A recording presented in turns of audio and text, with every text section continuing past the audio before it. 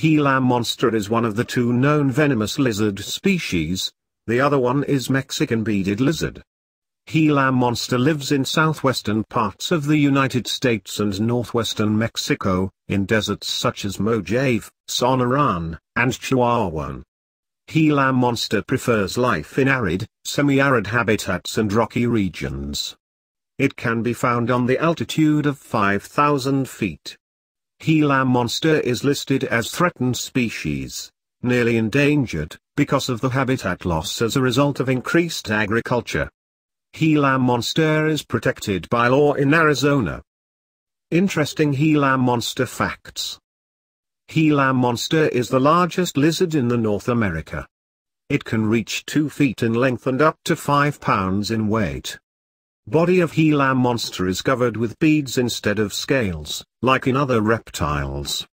Its back is black in color and intersected with pink, orange or light markings that can be arranged in several different patterns. Gila monsters are named after Gila River Basin in Arizona, because they were identified on that location for the first time. Unlike venomous snakes that have hollow teeth, Gila monster has large teeth with grooves.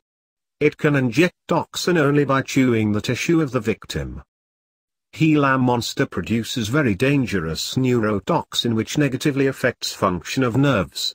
This toxin is as strong as the toxin produced by western diamondback rattlesnake.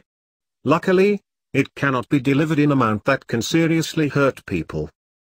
A substance isolated from this toxin, called exendin 4, is currently under investigation as a new drug that may help in treatment of diabetes.